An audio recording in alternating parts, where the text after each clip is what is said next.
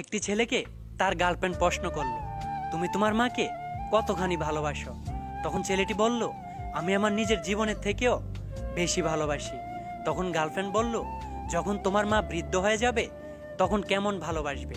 তখন ছেলেটি তার পকেট থেকে চকচকে একটি এক হাজার টাকার নোট বের করল আর জিজ্ঞেস করল, এর মূল্য কত? তখন গার্লফ্রেন্ড বলল, এক হাজার টাকা। ছেলেটি হাত দিয়ে নোটটি মোস্তানোর পর বলল, এখন এর মূল্য কত? গার্লফ্রেন্ড অবাক হয়ে বলল, এক হাজার টাকা। তারপর ছেলেটি নোটটিকে পায়ের নিচে ধোলাই করল এবং জিজ্ঞেস করল, এখন এর মূল্য কত? গার্লফ্রেন্ড একটু বিরক্ত হয়ে বলল, এক হাজার টাকা। তখন ছেলেটি বলল, আমার মাও আমার কাছে এই এক হাজার টাকার মতোই।